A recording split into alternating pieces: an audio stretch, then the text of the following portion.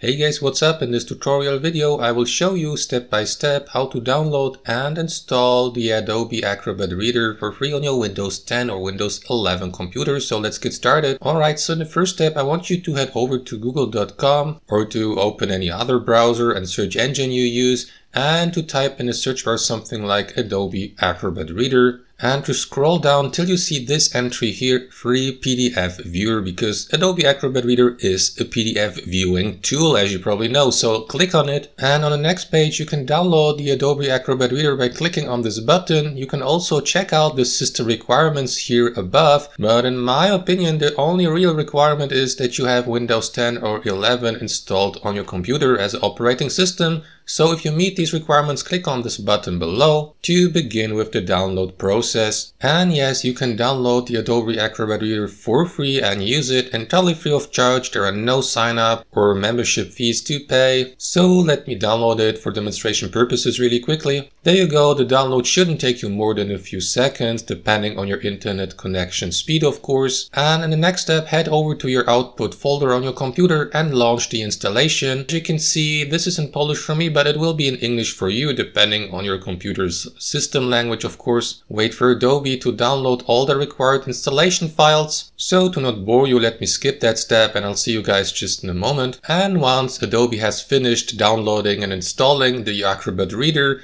click on this blue finish button here in the bottom right corner or select this option here to the left start or launch the Adobe Acrobat Reader application on your computer now. So now with the Adobe Acrobat Reader installed on your computer, you will be able to open any PDF file from your computer. Let me give you a proof really quickly.